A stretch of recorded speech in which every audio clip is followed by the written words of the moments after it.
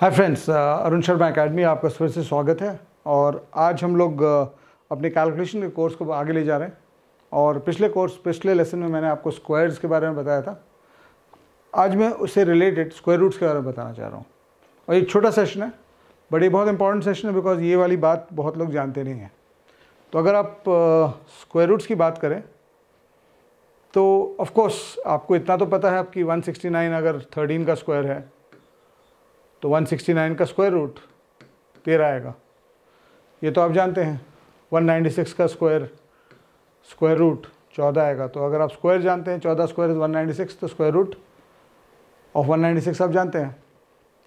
Question हो जाता है कि बीच का कोई नंबर जब आ जाए तो आप कैसे इसका स्क्वायर रूट निकालेंगे? जैसे मान लीजिए, मुझे, मैंने आपको 190 का स्क्वायर रूट पूछ लिया। तो बहुत बार इसका इंपॉर्टेंस ये हो जाता है। सपोज़ आप किसी क्वेश्चन को को हल कर रहे हैं। आप किसी क्वेश्चन को सॉल्व कर रहे हैं।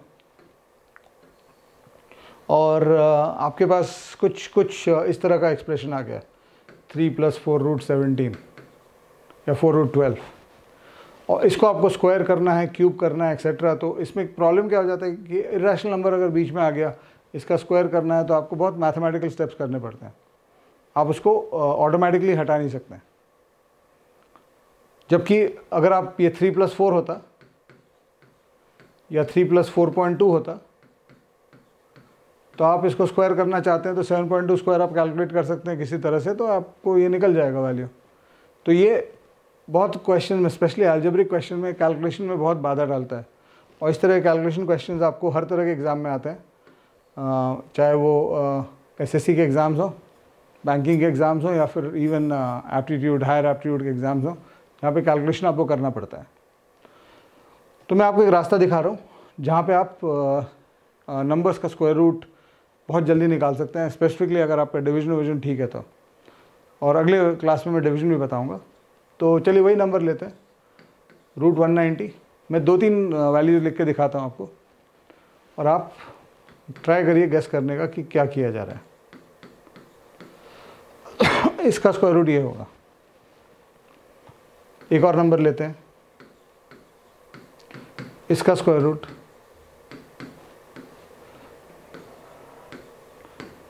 इससे आएगा। ऑफ़ कोर्स इसको आपको कैलकुलेट करना पड़ेगा seven point seven by nine है। तो ये पॉइंट सेवन सेवन है तो वन नाइन्टी वन नाइन्टी का square root thirteen point seven seven होगा। और मैं इसको राउंड ऑफ़ अगर करूँ तो अपर साइड पे राउंड ऑफ़ करना चाहिए। तो थर्टीन पॉइंट सेवन एट मेरा गैस होगा इसके वैल्यू का। यहाँ पे फिफ्टीन पॉइंट वन नाइन के आसपास आ रहा है सिक्स बाई थर्टी वन तो मैं फिफ्टीन पॉइंट टू ज़ीरो लूँगा रूट टू थर्टी वन को.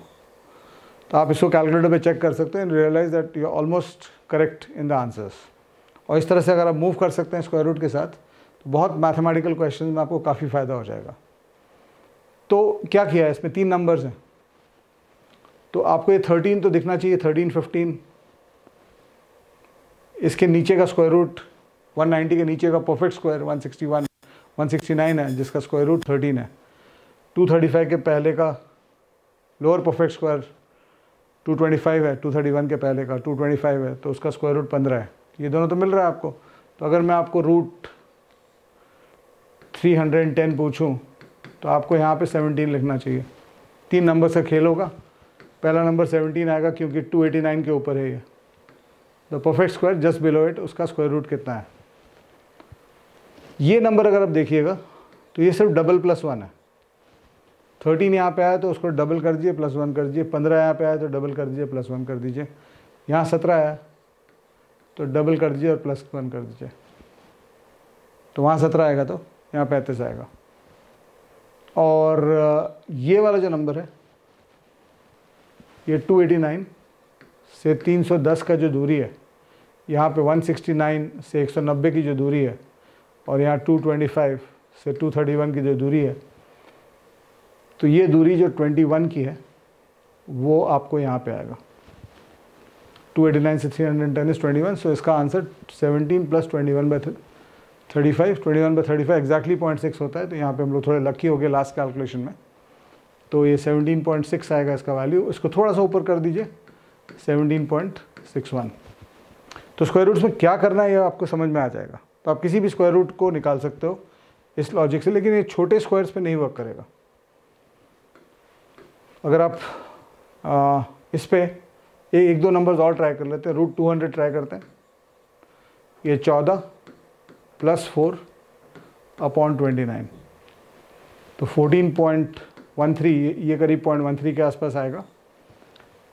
डिविजनल क्लास देख लीजिएगा इसको जल्दी कैसे करते हैं इन सब चीज़ों को उसमें आपको मिल जाएगी। अगला क्लास वही रहेगा। तो 14.13 हो जाएगा तो इसको हम थोड़ा सा ऊपर ले लेंगे 14.14 ये मेरा स्क्वायर रूट आ जाएगा। लेकिन ये प्रोसेस दो चीज़ और बच, बचती हैं इसमें बताने की। ये प्रोसेस क्यों वर्क कर रहा है? और हम लोग, उससे आपको समझ में आ जाएगा कि ऊपर क्यों लेते हैं हम लोग। और दूसरा, ये भी समझाना चाहिए मुझे कि ये छोटे नंबर्स पे नहीं वर्क करेगा। तो अगर आप रूट थ्री ट्राई करिएगा इससे। तो रूट सी रूट वन के ऊपर होता है वन के ऊपर होता है। ये वन आया तो डबल प्लस वन थ्री आ जाएगा। और वन से थ्री का डिस्टेंस टू आएगा तो ये वन पॉइंट सिक्स सिक्स दे रहा है। हम लोग जानते हैं one point seven three two इसका आंसर होता है। तो ये गलत आंसर दे रहा है यहाँ पे आपको। तो छोटे नंबर्स पे नहीं वर्क करता है ये भी क्यों नहीं वर्क करता है उसको भी देखने के लिए। ये प्रोसेस वर्क क्यों कर रहा है वो समझना चाहिए आपको। तो होता क्या है कि अगर आप ग्राफ प्लॉट करें of x against root x तो वो ग्राफ कुछ इस तरह का होता है। इस ग्राफ पे अगर दो पॉइंट हम लोग उठाएँ सपोज़ मान लीजिए एक्स की वैल्यू 169 है यहाँ पे तो रूट एक्स की वैल्यू 13 है, और यहाँ पे 196 है तो रूट एक्स की वैल्यू 14 है। तो ये जब 169 से 196 जा रहा है तो ये 13 से 14 जा रहा है, और ये ग्रोथ जो है वो ऑलमोस्ट स्ट्रेट लाइन के बराबर है। लेकिन ये कर्व थोड़ा सा इस तरह का रहता है rather than the straight line अगर उसको एक्सपैंडेड फॉर्म में देखिएगा तो। तो इसलिए आप बीच का पॉइंट अगर इंट्रापोलेट कर लें इंट्रापोलेशन का मतलब जानते हैं? 2010 में एक सिटी का पॉपुलेशन एक लाख था 2020 में उसका पॉपुलेशन डेढ़ लाख हो गया। तो ये दो पॉइंट अगर आप जानते हैं और आपको गैस करना है कि 2015 में कितना होगा तो आप जब 1.25 लाख सोचते हैं तो आप इंट्रापोलेट कर रहे हैं। Interpolation is the process in which आप दो नॉन पॉइंट के बीच में एक एक नॉन पॉइंट दो दो नोन पॉइंट के बीच में एक अननोन पॉइंट को गैस करते हैं। यूनिटरी मेथड करके कि यहाँ पे दस साल बीते तो पचास लाख बढ़ा, पचास हज़ार बढ़ा तो पाँच साल बीतेंगे तो पच्चीस हज़ार बढ़ेगा। तो यहाँ पे हम वही कर रहे हैं, जब ये सत्ताईस जा रहा है तो ये एक जाएगा। तो मुझे अगर रूट 190 चाहिए तो मुझे ये देखना होगा कि 21 जाएगा तो कितना ऊपर जाएगा 13 से। तो जब 27 जा रहा है तो एक जा रहा है। राइट में 27 जा रहा है तो ऊपर एक जा रहा है 13 से। तो राइट में अगर 21 जाएगा तो ऊपर कितना जाएगा? ये अगर मैं देखना चाहता हूँ तो यूनिटरी मेथड सिचुएशन है ये। तो आंसर आपका 13 प्लस, ये अगर x ऊपर जा रहा है 13 प्लस एक्स हो रहा है आपका आंसर तो x का वैल्यू 21 वन बाई ट्वेंटी है। और थर्टीन से अगला थर्टीन स्क्वायर से फोर्टीन स्क्वायर में डिफरेंस हमेशा थर्टीन प्लस फोर्टीन रहता है। Fourteen square plus fifteen square fourteen square और फिफ्टीन स्क्वायर के बीच में डिस्टेंस हमेशा फोर्टीन प्लस फिफ्टीन रहता है। तो टू इंटू एन स्क्वायर से एन प्लस वन स्क्वायर का डिस्टेंस हमेशा n two n plus one होता है। तो तो इसलिए यहाँ पे हम लोग जब इस प्रोसेस को देखें तो अगर इसको मैं फिर से शॉर्ट में बता दूँ, इसमें ज़्यादा बहुत जानने की ज़रूरत नहीं है कि क्यों होता है ऐसा। What you have to know is what to do so अगर मेरे को रूट 300 का ट्रिगर मिलता है कि रूट 300 निकाल के बताइए तो मैं करूँगा सत्रह और यहाँ पैंतीस सेवनटीन स्क्वायर से मैं सत्रह दिख रहा है यहाँ पे, यहाँ पैंतीस और अगला नंबर यहाँ पे ग्यारह आएगा। टू एटी नाइन से थ्री हंड्रेड। और ये अगर मैं देखूँगा तो seventeen point three three one के आसपास आ रहा है।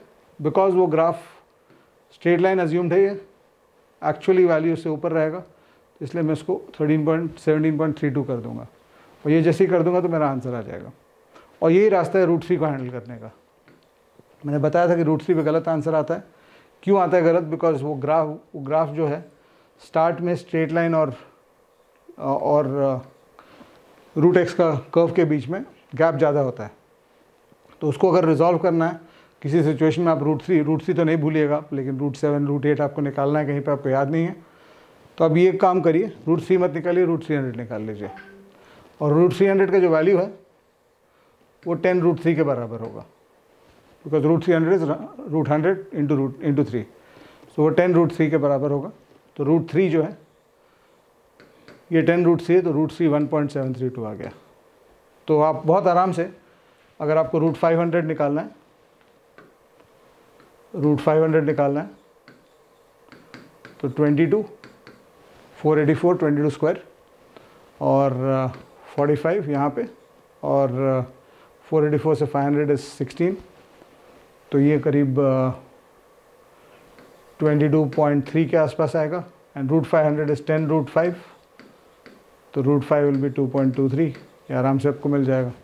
So this how you do the square roots and I hope you enjoyed this thank you so much bye bye